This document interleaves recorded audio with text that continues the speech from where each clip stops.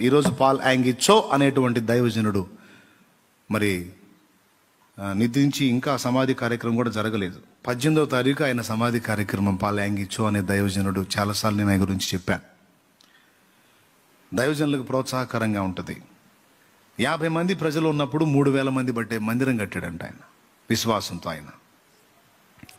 యాభై మంది సంఘం మూడు వేల మంది ప్రజలు బట్టే మందిరం. ఉండే ఇల్లు కూడా అమ్మి కట్టాడంట. విశ్వాసంతో నేను పని చేయాలా? విశ్వాసంతో ముందు అడిగేస్తే అప్పుడు దేవుడు దాన్ని నెరవేరుస్తాడని. చూడండి. ఆ దైవజనుడు మొదటి రోజు ఆ మందిరంలో ఆరాధన జ- ప్రారంభమైంది. మూడు వేల మంది మందిరంలో యాభై మంది కూర్చుంటే ఎట్టుంటుంది? ఆ మూడు వేల మంది పట్టే మందిరంలో ఊడిసేవాళ్ళు యాభై మంది ఉంటారు.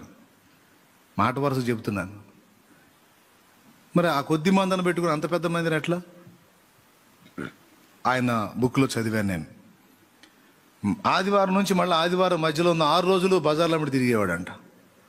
అందరికీ సువార్త చెప్పుకుంటా అందరికీ దేవుని గురించి పరిచయం చేసుకుంటా మాట్లాడుతూ ఉంటే విన్న వాళ్ళందరూ అనేవాళ్ళట మీ చర్చి అడ్రస్సు నాకు తెలుసు సండే ఖచ్చితంగా వస్తాను నేను అనేవాళ్ళంట.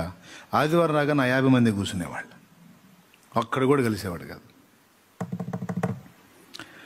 అట్లా కొన్ని నెలలు తిప్పలు పడ్డాడు. విసుగు చెందాడు. వచ్చి మోకాళ్ళు లేసాడంట రాత్రంతా శ్రమపడ్డా రాలేదు ప్రభు చేయమన్నట్టుకుంది నా పని. ఏందయ్యా ప్రకటిస్తున్నాను నువ్వు వస్తామంటున్నారు ఎవరు రావట్లేదు. అంటే దేవుడు తన మెల్లనైన స్వరంతో ఆయనతో మాట్లాడాడంట. ఇంకా తిరుగు. ట్రై చేయి ఇంకా. ఇంకెంతకాలం తిరుగుతావు తిరుగు.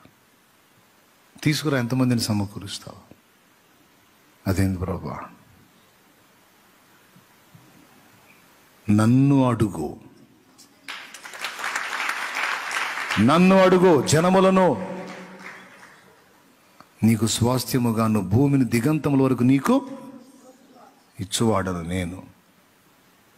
నువ్వు వెళ్ళి ఒక మనిషిని ప్రభావితం చేయగలవా? ఒక ఆత్మని కదిలించగలవా? ఒక ఆత్మని ఒప్పించగలవా? ఏం చేత ఇది నీకు? నా పని. నీవు నన్ను అడుగు. మోకాళ్ళు నీ కనిపెట్టు. ప్రార్థన చేయి. నాతో ఉండో. తీగ చేయాల్సింది ఒక్కటే.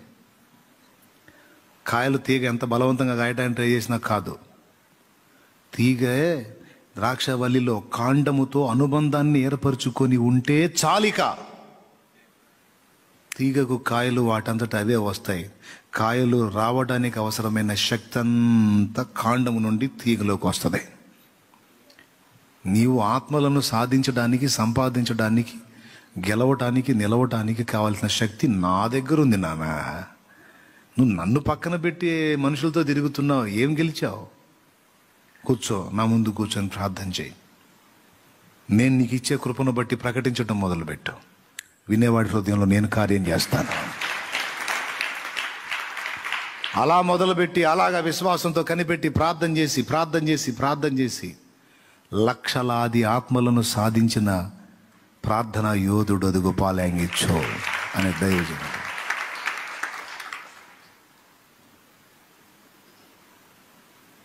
ఆయన చర్చ్ అదే.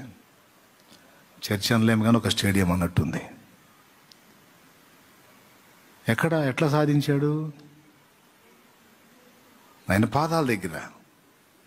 అరే దేవునితో సంబంధం ఏర్పరచుకోకుండా మనుషులు అమ్మో మనుషులతో గడపకపోతే దూరం అవుతారే మనుషులు సమయం అయిపోతే ఏమైనా అయిద్దేమో అట్లేమో ఇట్లేమో.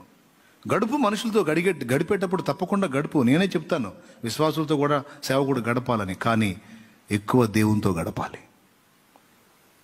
దేవుని నుండి నిన్ను దూరం చేయడానికి అన్నీ చుట్టుముట్టి నువ్వు అన్ని బాధ్యతలు నెరవేర్చాల్సి వచ్చినట్టుగా నీకు ఒత్తిడి కల్పించి ద్రాక్షవల్లి నుండి తీగను వేరు చేయటానికి శత్రువు విఫలయత్నం చేస్తాడు. అందుకే చాలా తీగలు కాయలు లేకుండా ఉన్నాయి. ఎందుకు తెలుసా? కాండంతో సంబంధాన్ని తెగతింపులు చేసుకున్నాయి. అందుకే ఎండిపోయి ఉన్న కాయలు కూడా ఉన్న కాయలు ఉన్న ఫలాలు కూడా రాలిపోయే ప్రమాదంలోకి వచ్చినాయి. అర్జెంటుగా ఏం చేయాలి? ముందు తీగతో కాండముతో తీగ సంబంధాన్ని ఏర్పరచుకోవాలా? అప్పుడు శక్తి ప్రారంభమవుతుంది తీగలోకి. ఒకసారి ఆలోచన చేయండి. ఎటు చూడాలి? హెబ్రి పత్రికలో చెప్పాడు చాలా స్పష్టంగా. విశ్వాసమునకు కర్తయు దాన్ని కొనసాగించువాడునైనా ఆయన వైపు చూచొచ్చు